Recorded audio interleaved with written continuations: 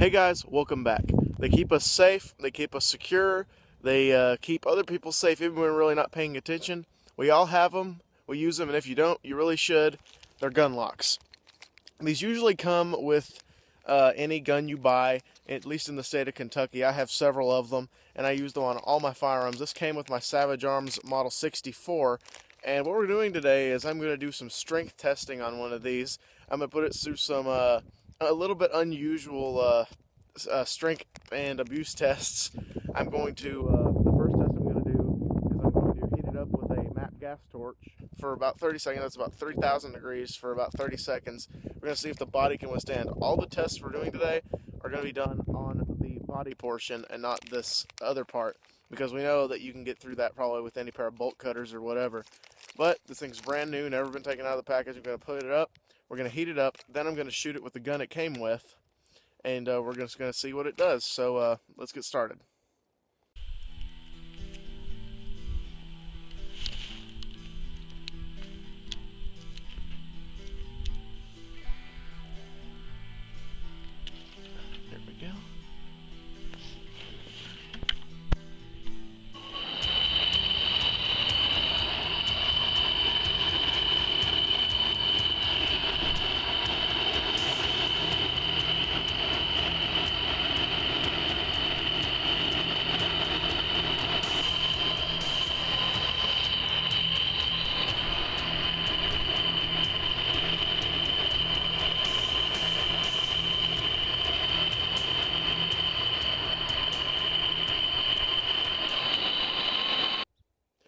Okay, so it survived that test. Uh, I had that torch on it for about a minute straight, and it really did melt all of that plastic on the outside.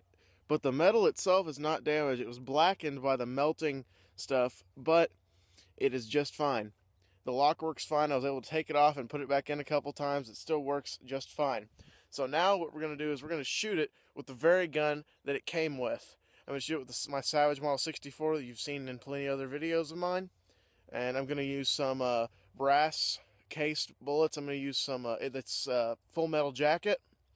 And uh, I'm going to shoot it probably two or three times and uh, see how well it stands up. All right, so we have our Savage Model 64. Got three uh, full metal jacket copper rounds in here. And we're going to shoot at our lock. Hopefully all these bolts will cycle. They're kind of old.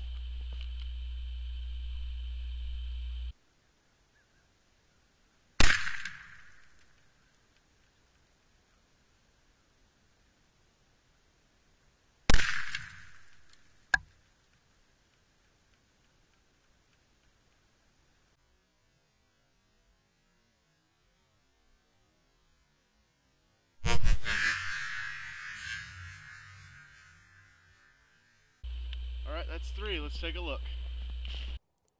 Okay, so it did remarkably well. Here it is. It actually looks like it fared quite well.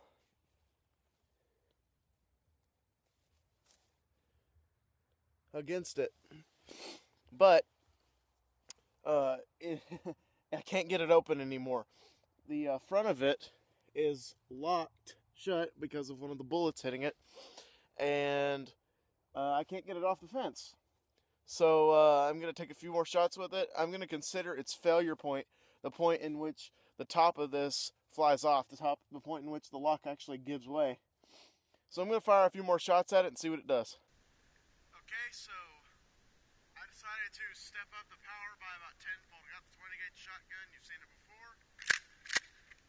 And uh, I think I'm probably going to bust it off.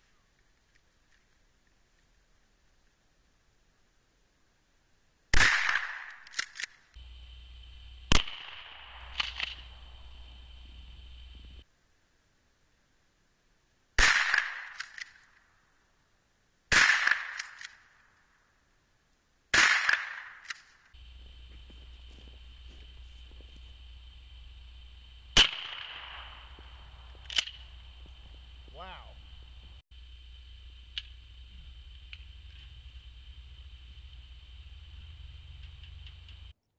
Wow, that is really surprising. After six shots directly with a shotgun, that's the result. It actually didn't break. I just cut it, but um, after seven, five or six shots with the 22, and six direct impacts with birdshot out of a 20 gauge shotgun, it actually withstood. So it's safe to say uh, gun locks are pretty much impenetrable to anything that is subsonic. That's actually very surprising. I feel a lot safer having these on my guns now. Uh, but uh, that that's pretty cool that it's survived that well. Uh, as always, guys, thanks for watching. I really appreciate all the subs you guys give me and all the views. If you got any questions, put those in the comments bar below. Uh, you can visit us on Facebook at www.facebook.com forward slash the hot and fuzzy. As always, guys, thanks for watching. Keep those subs coming, and I'll talk to you guys soon.